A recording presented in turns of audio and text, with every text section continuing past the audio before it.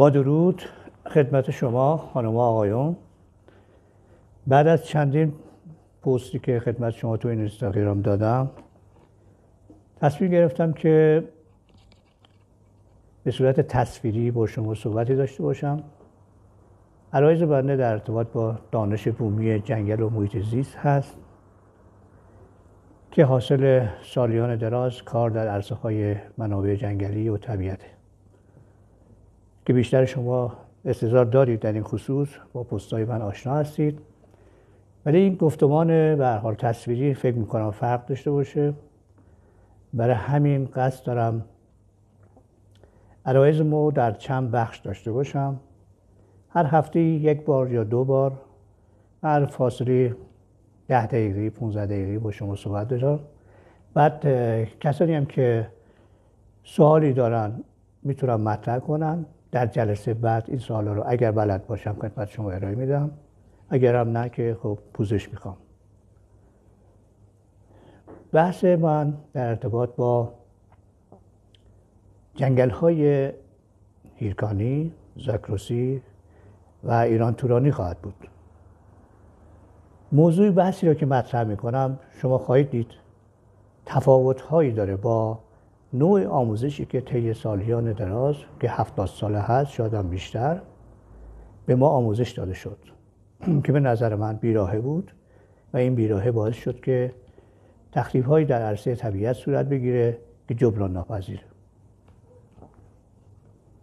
ما برای اینکه یه جنگل رو به درستی بشناسیم و متعاقبش طبیعت جنگل رو بشناسیم و به بعدش محیط زیست رو که این طبیعت در داخل محیط زیست ما قرار داره میبایست از اولین آیتم یا عوامل اکولوژیکی که باعث حیات شد شروع کنیم.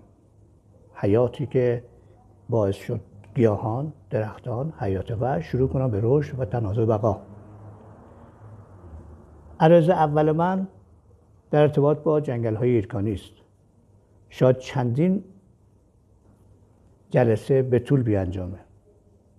که در واقع نیازم هست.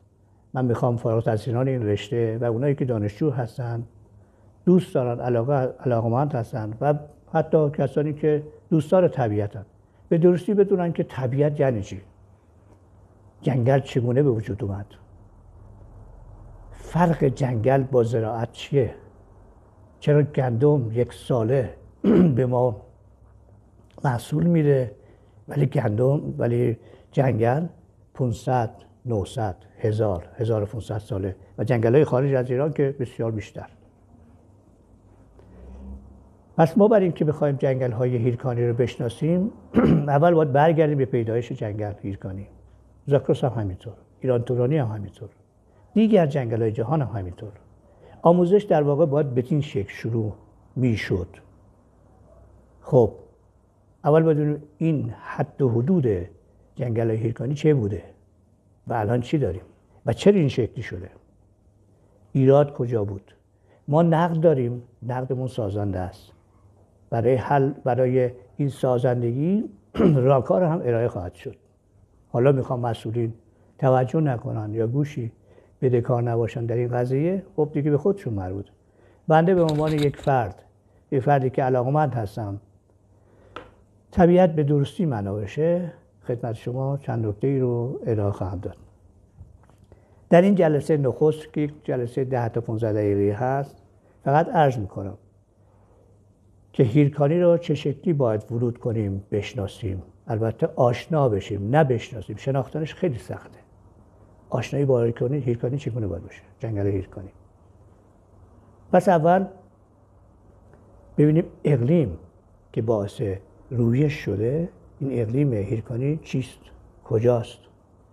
بحثی که در مراجع علمی و آموزشی اصلا صحبتش نشده. ما واحدی به نام اقلیم شناسی جنگل ایرکانی یا اقلیم شناسی جنگل های زاکروسی و ایران تورانی نداشتیم. و در اینجا می‌خوام خیلی شاید فشرده خدمت شما عرض کنم. باید برگردیم به پیدایش جنگل های ایرکانی. که می‌رسه به دوران سوم زمین شناسی اما قبل از دوران سوم زمین شناسی اتفاقی روی کره زمین صورت گرفته. و اون نبودن لایه اوزون بود. که می‌دونی وقتی که هممون می‌دونیم لایه اوزون که نبوده اشعه, اشعه فرابنفش و مادون قرمز مانع از حیات می شدند تا اینکه طی عمر کره زمین که 4 میلیارد و 600 میلیون سال باشه دقیقا 4 میلیارد و 100 میلیون سال طول کشید. اسفنج های کف اقیانوس ها و دریاها شروع کردن به عمل فتوسنتز. گاز کربونیک هوا رو به تدریج جذب کردن و اکسیژن پس دادن. طی این چهار میلیارد یکصد میلیون سال لایه اوزون تشکیل شد. با ایجاد لایه اوزون حیات به وجود اومد روی کره زمین. که حدود 500 میلیون سال عمرشه. عمر حیات کره زمین. بعد بر اساس فسیل های گیاهی و جانوری شروع کردن تقابندی به تقابندی دوران های زمین شناسی که می‌دونی دوران اول 300 میلیون سال دوران دوم ارزمون 150 میلیون سال دوران سوم 50 تا 60 میلیون سال و دوران چهارم یکونیم تا دو میلیون سال. که در این مورد خیلی اشتباه میشه که اینو بعدا من بازش می‌کنم که داستان چی هست. برمیگردم بعد شکل میایم تو دوران سوم زمین شناسی در دوران سوم زمین شناسی دو کوزایی صورت گرفته. یعنی آتش های کف اقیانوس ها شروع به فعالیت کردند با این فعالیت آتش های کف اقیانوس کوزایی شروع کرد به روگش و قله دماوند رو ما از دوران سوم زمین شناسی یعنی از واسط دوره میوسن ایلوگلوسن داریم. یک کوزایی دیگه هم در اواخر دوران سوم زمین شناسی رخ داد که اون قدمتش کمتره ولی همزمان شد با اصل یخچال ها که یه مقدار پدیده به وجود اومد که پوشش گیاهی که در اون مقطع زور کرد یه مقدار ما رو در ابهام برده که واقعیتش کدوم هست. بعضی قدمت جنگل ایرکانی رو به کوزایی دوم یعنی حدود سه میلیون میلیون سال تخمین می‌زنن. و ای هم به اواسط دوران دوم اواسط دوران سوم حتی اواسط میوسن الیگوسن که بنده هم به این معتقدم. معتقدم که جنگل هیرکانی متعلق به اواسط دوران سوم زمین شناسی است به قدمتش بیش از سی میلیون ساله که حدود چل سال پیش بنده طی مقاله در مقاله جنگل مرتع اینو مطرح کردم. اون وقت که شاغل بودم و عضو شورا بودم اینا اینا رو مطرح کردم که چی هست داستانش. بعد از اون دیگران اومدن هر کدوم یه مقدار بالا پایین عددی رو گذاشتند و گفتن این شکلی. ولی پژوهشی رو من ندیدم کسی انجام بده. اینایی که بنده از حاصل پژوهش پژوهش بنده هست و بر اساس مستنداتی که از سنگ هایی که توی طبیعت پیدا کردم و یافت کردم به حال اینا مقایسه شد به این زمان رسیدم. البته از مهندسین زمین شناس هم استفاده شد که جای تشکر داره.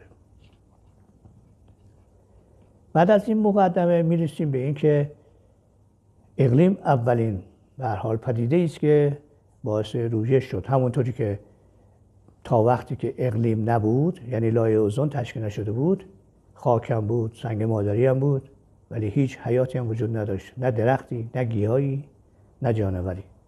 پس اقلیم در رأس قرار داره و بعدش خاک هست. خاکی که از سنگ های مادری حاصل شده که بسیار مهمه.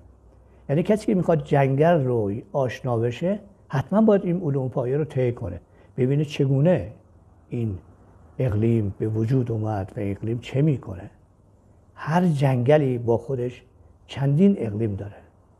جنگل هیرکانی هم همینطوره. اقلیم های جنگل هیرکانی با اقلیم جنگل زاکروس متفاوته. اقلیم زاکروس با ایران تورانی تفاوت داره.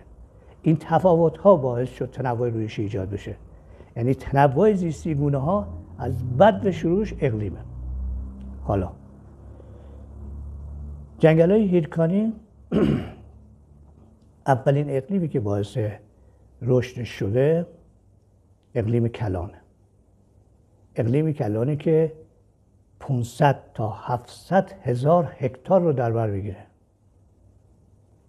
در داخل این اقلیم کلان اقلیم متوسط یا مزوکلیما هست که سطحش میره تا 15 هزار هکتار. یه دفعه افت می‌کنه.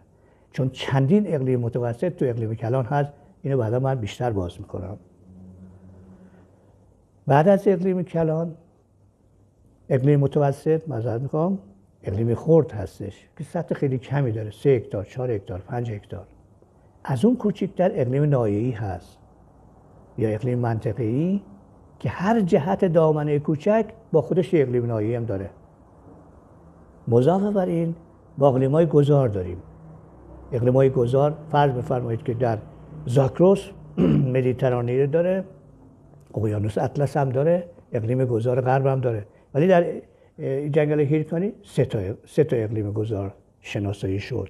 یک سیبری که از شمال وارد میشه با خودش یخبندان و برف رو داره. مدیترانی که مدیترانی از غرب میاد که با خودش باران نرم و طولانی رو داره که در گذشته این باران نرم و طولانی رو ما در شمار زیاد داشتیم. یک ماه دو ماه طول می‌کشید. بعد از اون اقلیم خزری که اقلیم خزری اقلیم های با باران تند و کوتاه مدت و بسیار تخریب کننده هم هست. خب یک کوتاه از اقلیمی که در خزر در جنگل هیرکانی وجود داره رو عرض کردم. خب حالا که ما بخوایم این جنگل هیرکانی رو بشکافیم چگونه شروع میشه میبایستی ببینیم بدنه این هیرکانی کدوم ها هست. کدوم نایه روشی است؟ یک عرسباران جنگل های با یک فاصله ای که از آستارا ازش ایجاد شده متعلق به هیرکانی است. چرا؟ چون هم قدمتش با قدمت جنگل های عرسباران از آستارا تا گلیداغ یکسانه هم گونه هاش غیر از گونه راش به خاطر سرمایه بالا و همین که پوشش گیاهی علفیش مشابه هم و حیات وحشش. شباهت های این چنینی سه شباهتی که دارن باعث شد که عرسباران هم جزء جنگل هیرکانی باشه.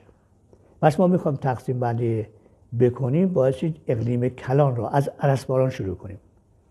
اقلیم کلانی که از عرسباران شروع شده یک اقلیم کلانه که مساحتی برابر که حدود 300 هزار هکتار داره ولی جنگل با خودش که داره 140 هزار هکتاره حدودا. بقیهش تخریب شده. بعد میاد از آستارا. تا سپیدرود یک اقلیم کلانه. اینا چیزایی که آخرین تحقیقات میدانی بنده است. چون آقای آمبرژه و با آقای گوسن دوستش از آستارا تا گلیداغ سه اقلیم رو مطرح کردن. گفتن از آستارا تا بابرود یک اقلیم کلان بابرود تا در زیارت دو اقلیم کلان در زیارت تا گلیداغ هم اقلیم کلان. سه اقلیم.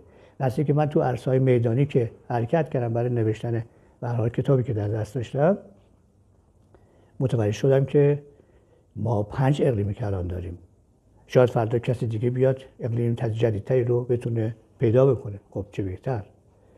بنده تا الان که رسیدم پنج اقلیم کلان داریم. یک از آستارام تا سفیدرود سفیدرود تا بابرود بابرود تا دره. رودخانه ظالم رود. تا دره زیارت گرگان. زیارت گرگان تا گلیداخ در داخل این اقلیم های کلان ما شاهد پدیده های بسیار بسیار زیادی هستیم. مخصوصا اون وقت که جنگل بکر بود. یعنی در دهه چهل که بنده اون جنگل ها رو دیدم و هنوز در ذهن دارم.